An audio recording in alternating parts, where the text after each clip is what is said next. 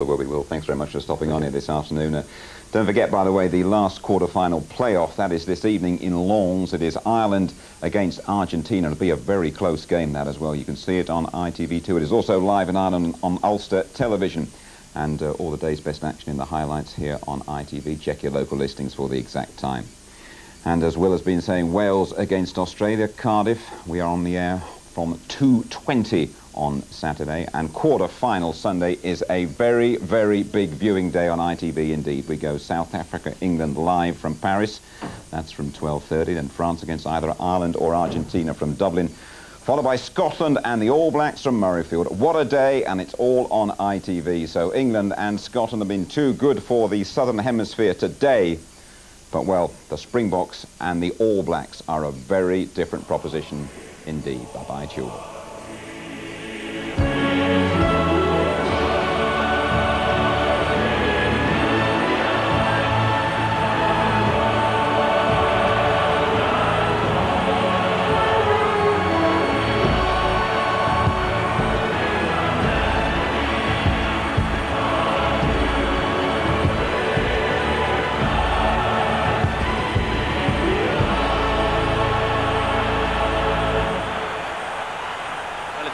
Fascinating stuff, hasn't it? Uh, so much to talk about, so much to think about. The cheers, the tears, well, where do you start? Wonderful stuff.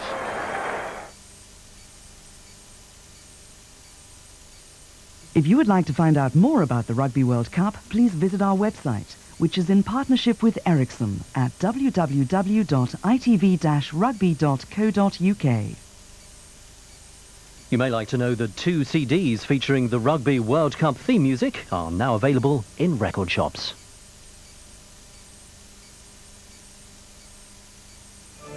After the break, the records of 70 women patients, all treated by the same doctor, are to be examined by the hospital where he worked. And soccer growth. Sunderland's plans to expand the Stadium of Light, already the region's biggest football ground.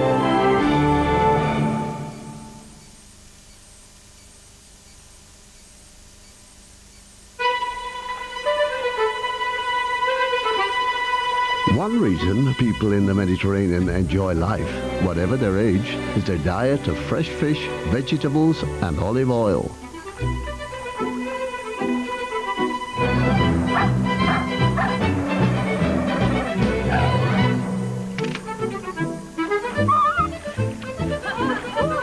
Olivio, join Club 18 to 130.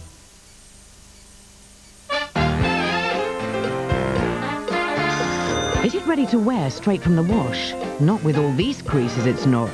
Then you're ready for new Lenor Fabric Enhancer. The difference is clear. Ordinary softness stay on the surface. Lenor Enhancer penetrates, smoothing fibers like a liquid iron for easier ironing.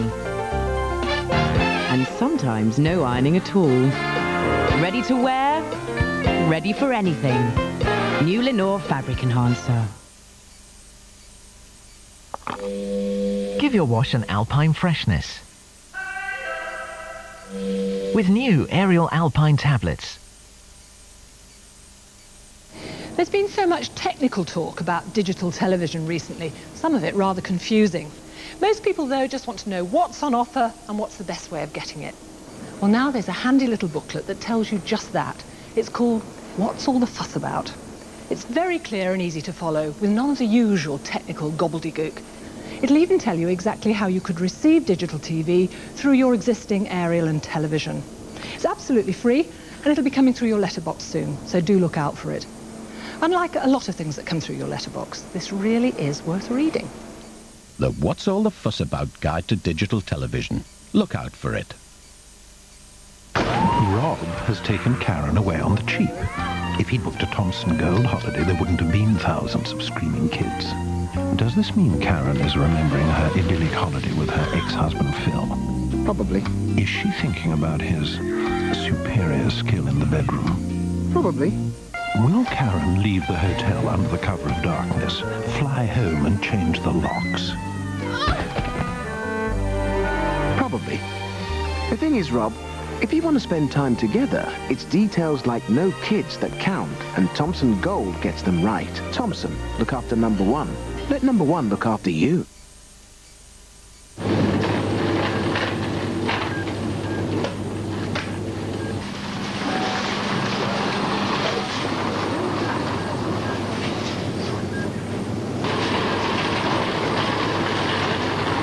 Oh dear, inadequate car. Well, I think it's time you tried the new Nissan Primera.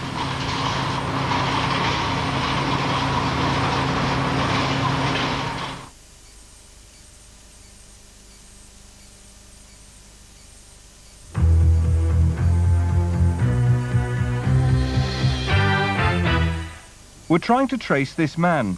He grabbed bottles of spirits at Victoria Wines in Headingley Hole in Sunderland and ran from the shop without paying. He's in his early 30s and had a thin, drawn face. If you can help with this or any other offence, ring Crime Stoppers on 0800 treble five treble one. You don't have to give your name and you could qualify for a cash reward. It's the disease every parent dreads. A vaccine exists, so why can't we use it? Tonight with Trevor McDonald at 10.15. As far as I'm concerned, Jim Taggart is dead and that's that. From Beyond the Grave, Thursday at 9 on ITV. Taggart.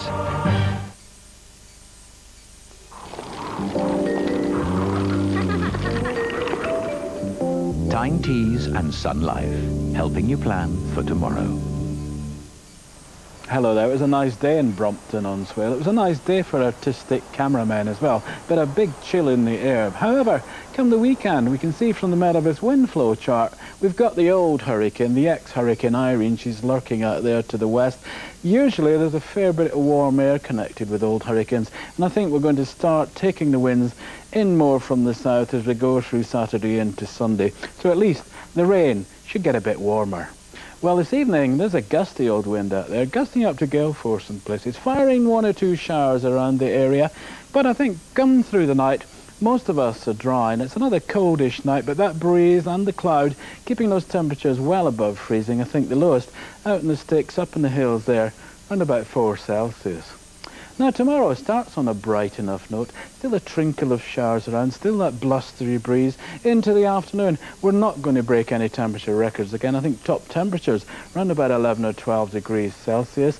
Most of us staying dry, I think, through the afternoon, but come tea time, change in the weather coming along, some rain into most places, some of it heavy. For a seven-day regional forecast, call the Tyne Tees weather line on 0336 405 440.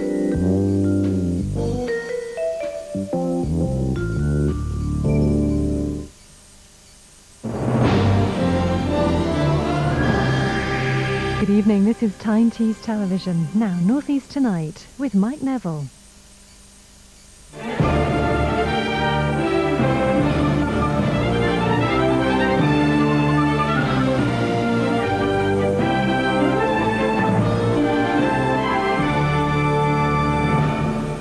Good evening. Welcome to Wednesday's edition of Northeast Tonight. Our main headlines this evening. Medical call. Hospital to examine records of 70 dead patients of a controversial doctor. Going up, Success Club Sunderland announced expansion plans for the Stadium of Light. Health scare. Breast cancer is a killer and it can affect men as well. And later in the programme, find out why, for this group of primary school children, Christmas has come early this year. All that, and have you made your promise yet?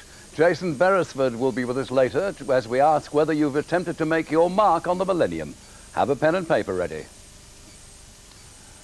But first, let's take a look at the day's main news stories with Pam Royle. Thanks, Mike. Good evening. A hospital in the region has been asked to examine the medical records of 70 of its patients. All of them died and all were treated by a disgraced doctor.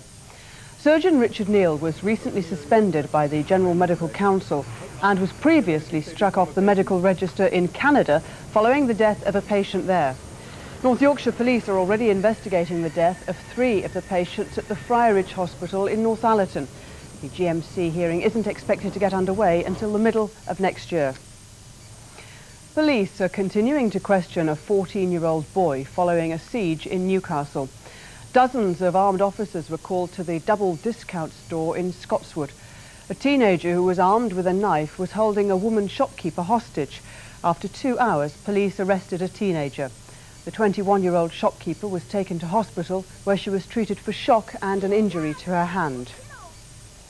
Newcastle United supporters who are angry about massive rises to seat prices at St James's Park are planning a stand-up protest. 4,000 season ticket holders face a 271% increase to keep their existing seats. Over 200 fans have formed an action group to fight the move.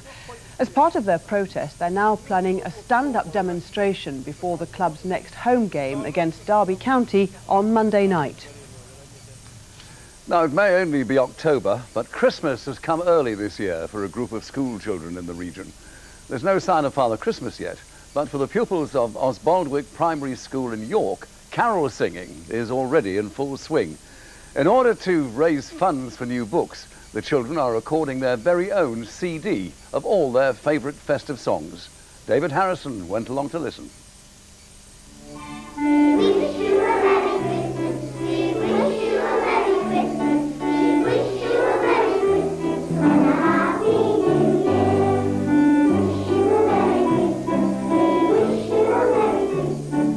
Jumping up and down thinking we're going to be like the steps, you know, we're going to be pop stars. And all of them today have said, are we going to be on top of the pops? And I said, well, if we sell enough. So, um, yeah, they're all really excited and getting into it. They've worked really, really hard and uh, it's just brilliant, really good.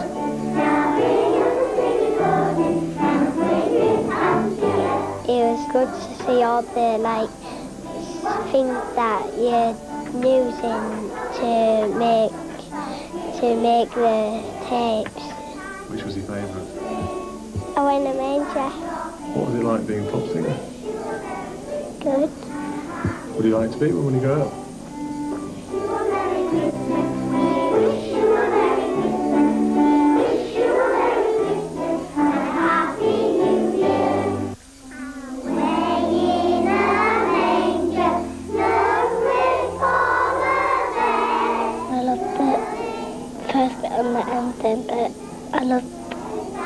Little bit. And I love it all. What did you think when you heard yourself afterwards? It's funny. You think it sounded good? Mm.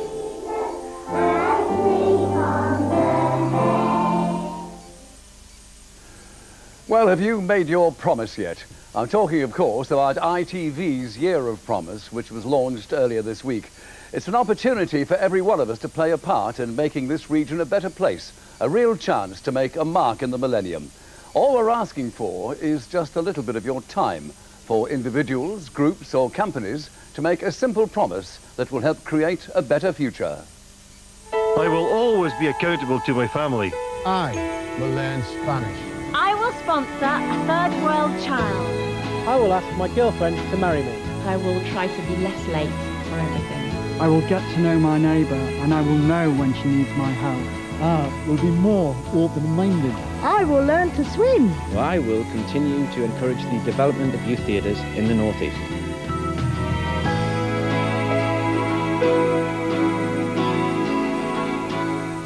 It's as easy as that. And just to prove it, lots of you have already registered your promises. And some very interesting ones there are too. Jason Beresford has been keeping tabs on some of them. So how's it going, Jason? Yes, yes. I've got to go, got to go. Sorry, Mike, that was, uh, that was my mother. She phoned to promise that she, uh, she wouldn't phone me at work anymore. So she clearly hasn't got the idea, but fortunately, lots of people have. Let me tell you about a few of them. Um, there's a Mrs Hughes from Middlesbrough who's promised to overcome her fear of needles and donate blood. And there's another lady, Mrs Elliot in Yarm, who's also promised to become a blood donor. So good news for vampires. Miss Wilson from York has phoned to say she'll take her dogs, Rosie and Butch, to visit people and make them smile. And a teacher from Knaresborough has promised to inspire her students to create excellent artwork. So lots of people already getting very involved. So just remind us, Jason, how do we register our promises? Well, Mike, there are two ways. Um, one way is to pick up one of these registration forms and pop it in the post. You can get these from Barclays Bank, Currys, Dixon's, Iceland, The Link, PC World, at Jakarta and BP Garages, or you can register through the internet on the special ITV Year of Promise site, and that address is www.itv.yearofpromise.co.uk. Now, I know you can't officially register a promise by telephone, Jason, but there is an information line. Tell us about that. That's right. Yeah, if you've got a question about the Year of Promise, then of course give us a call here. But also, if you are thinking of registering, give us a call anyway, just to let us know what you're up to. That telephone line is 0191 230 2230. One more time, that's 0191 230 2230. And of course, all that information is on teletext as well. It's text page 697. Thanks a lot, Jason. Thanks very much. And I'll give you that number again at the end of the programme. We'll take a break now. We'll be back soon with more news, sport and features from all across the region, including cause for concern. Breast cancer affects thousands of women in the region, but did you know it can affect men as well?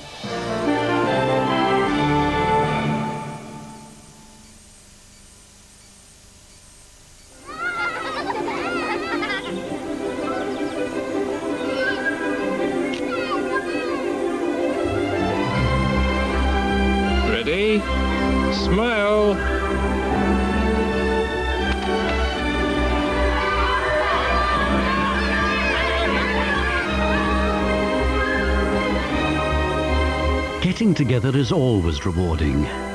Even more so if you join New BT together.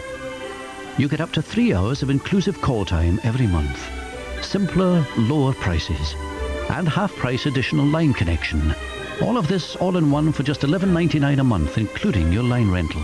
Especially E.T. He was so funny. Okay, okay. Bye, Eddie. And give my regard to your alien friend.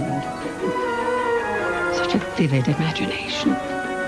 Get BT together. Call 0800 05 5555 and stay in touch.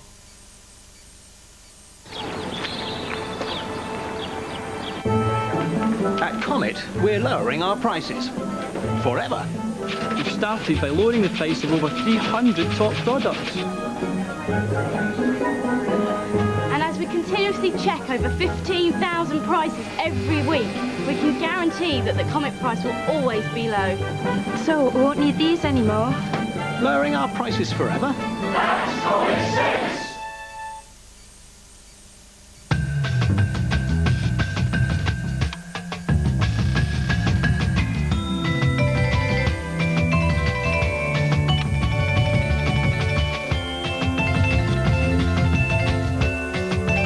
Quarter you choose Powergen gas and electricity instead of British Gas, you could save money. As much as £42 a year. Call 0500 24 0500 to start saving on your power.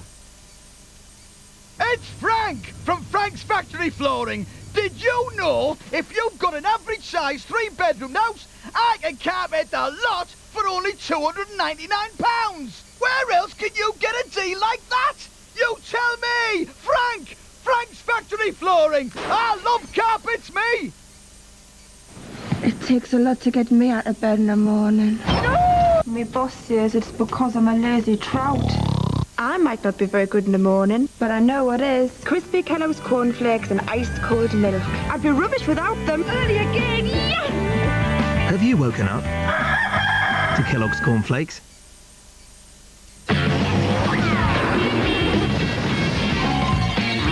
Do if someone stole your free Cartoon Network toy? Free Cartoon Network toys with every kid's fun meal. There's 10 sets to collect. Only at Little Chef!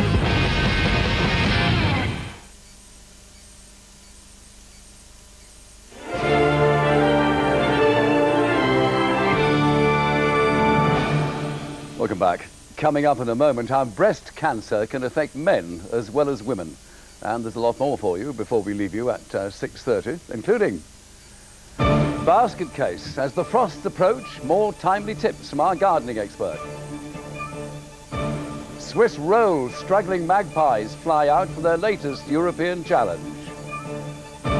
Priscilla's problem, the mystery pelican that's been nursed back to health. And we'll have Bob Johnson's weather prospects later. He says it's going to get warmer. October is Breast Cancer Awareness Month, and one of the ways it's being marked is by a pink ribbon. More women in this country die from breast cancer than in most other developed nations in the world.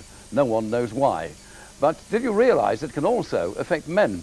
Jonathan Burrell has been finding out how they cope with the problem. Fabulous spread. This is a typical suburban coffee morning, but one of these people here has breast cancer. Two years ago, Doug Watson found out he had the condition.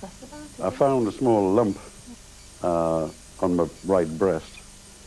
Uh, didn't think much about it at the time. I just thought it was a cyst or maybe a blind spot. Uh, part of the reason uh, of that thinking, I think, is because I've never been ill in my life, and I've never been in hospital, and I just thought, oh, it'll go away. But uh, over the course of a year, it got a lot larger, and uh, I put it off because, well, going to the doctors because uh, I had a big wedding coming up in Hungary, and I was taking all the family with me. And I just thought, well, we'll, we'll leave it for now, as men do, and uh, go off for the wedding and uh, jump the bridge when I came back. Unfortunately, it did get uh, a lot worse, uh, probably during the wedding, uh, and it, it went from being a lump to a large lump, which had broken out as if it was a, an abscess. And what I did was I stuck a plaster over it to hide it from my wife mainly, and carried on. And then uh, we got back from the wedding, and my wife naturally saw this big plaster on my right uh, breast and ordered me to the doctors. The doctor, who was a personal friend, uh, Graham, uh, looked at me and looked at my uh, sort of weeping wound and said, Doug, why didn't you come and see me earlier? With that, he rang the RVI from the surgery and booked me in for the next day. And it took about 20 minutes uh, for all the tests with this biopsy. And the, Jonathan came back and said, Doug, he said, I'm sorry to tell you, you've got cancer of the breast. With that, I think I must have turned um, slightly white. Of course, I'd gone from work to the, have the biopsy done. I went back to work, and of course, I walked through the door and everybody said, what's wrong? And I couldn't tell anybody. And, uh, um, sorry, um, it's uh, quite emotional to uh, talk about, you know. Anyway, I came home and I didn't tell my wife either. It was um, quite a shock. Um, when I really think you're going to die, you know. I had to go in a hospital, have uh, the chemo. It made uh, food taste like um, cardboard. Um, it made a lot of the people that I was in with very, they were sick, couldn't keep any food down. Also, you had no immune system whatsoever. So if anybody came to see me when I got home, if they had any bugs at all, they had to stand outside of the patio doors and talk to me through the glass. Then I went into radiotherapy, which uh, had to go for about 16 weeks, but it only took uh, about 10 minutes a time uh, to have the treatment, which didn't affect me a great deal. Tickled a little bit with this laser going through my my right breast. but I thought to myself, well, it's doing me good here, so you've got to put up with these little um, sort of, you know, things that are not um, making you feel nice. Uh, then after the radiation, uh, I came home and I was feeling a lot better. And the only thing was I had a very large hole in my right breast where the uh, actually tumor had been, and everything collapsed. It's changed my outlook on life. Uh, uh, after the, well, after I got over all the treatment, the uh, chemo and the radiotherapy, they did ask me about counselling, but my family is extremely supportive, and I didn't think I needed it. You know, I could talk to myself and consult my family more, which I didn't do before and I feel fine now. Uh, I'm in remission, as I say, uh, but I feel fine and I'm being positive about it and I'm looking forward to the future. Well, with me now is Dr. Aji Bedi. Aji, just how common is breast cancer in men? Well, male breast cancer is not a very common thing, Mike, especially when you compare it to female breast cancer. There are only about 200 cases per year in the UK, but unfortunately about 90 of those are fatal. And this, I think, is the main thing about male breast cancer. If you look